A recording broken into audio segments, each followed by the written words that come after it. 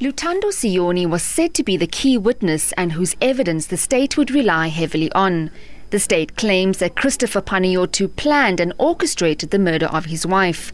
Siyoni was employed by Panayiotou as a bouncer at his Infinity nightclub.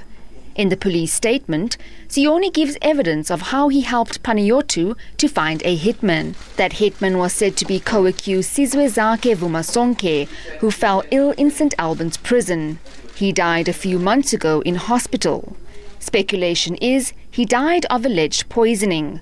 The state is waiting a toxicology report. After being in protective custody for more than a year, Siyoni is making a dramatic U-turn. During questioning by the state earlier in the week, Siyoni refrained from answering any questions. He told the court he would not implicate himself in the crime.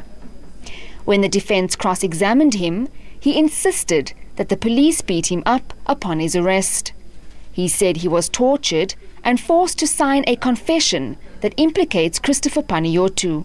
He says he was also forced to make several calls to Panayiotou on the day of Jayde's funeral to try and entrap him. The defense claims Siyoni's statements were taken from him unlawfully and therefore is inadmissible. Siyoni requested that the state advocate Marius Stander provide photographs of his beaten face to the court. The state says Siyoni has deviated from his statements and has been declared a hostile witness. The other two co-accused Zolani Sibeko and Sinethemba Nemembe were both in court. Both families have also been present throughout the trial. Jade Lee Paulser, SABC News, Port Elizabeth.